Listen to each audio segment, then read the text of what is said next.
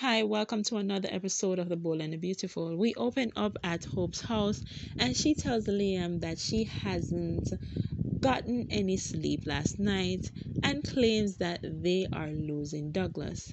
Douglas is choosing to go live with Steffy and that hurts her.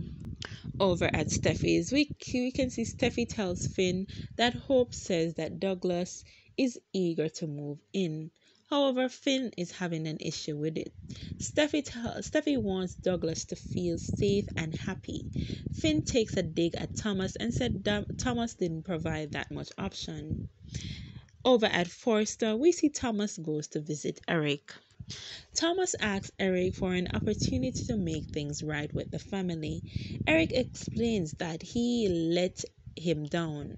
Eric also tells him to go and ask for that opportunity from the people he hurt and, and has affected Ridge, Taylor, Brooke. They are the ones who need to give him a second chance. Back at Steffy, Steffy admits that Thomas has disappointed her and the family so much that she's tired. Finn can't get why he wants to stay with them. Back at Forrester, Thomas explains to Eric that he and takes accountability that he did let down the, fire, the, the family. Back at Steffy's, Hope calls and tells them that she will be on her way with Douglas. Liam seems to be the only reasonable person in the situation and telling Hope that maybe it's for the best. Back at Forrester, we see Thomas tells Eric about Douglas's choice and says that it hurts him that Douglas chose to go live with Steffy and not choose him. Thomas says that he likes the idea though that he's going to Steffy because it is his sister and he will have full access to his son. Back at Steffy, Finn keeps stressing that it is a temporary issue that they're taking Douglas, and Douglas will go back home eventually. Finn is sounding a bit selfish.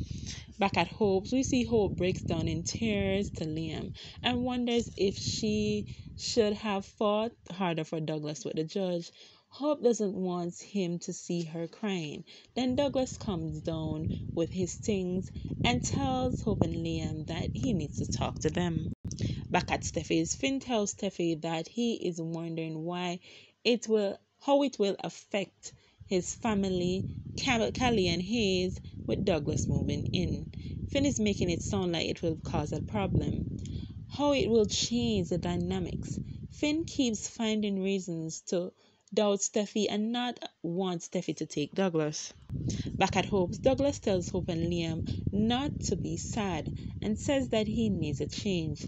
He says he wants to go live with Steffy on the beach and spend more time with Kelly and Hayes. Back at Forrester, Eric warns Thomas to have Douglas' best interest at heart and not manipulate him. Then we see Douglas arise as Steffy and he thanks them for letting him stay. Then we see the men go to go with Douglas to go to his room and Hope and Steffy talk. However, Douglas runs back and hugs Hope and tells her that he loves her. Then he leaves again, and Steffy explains to Hope that she knows that it is hard for her. Douglas just needs a break. Hope warns Steffy to watch out for Thomas. Steffy says that she will protect Douglas like he is her own. Hope cries and says that she feels rejected, then says that she has to just respect Douglas' choices. And she cries and tells Steffy to take care of her son. And we end with them hugging and crying. Thanks for watching. Bye.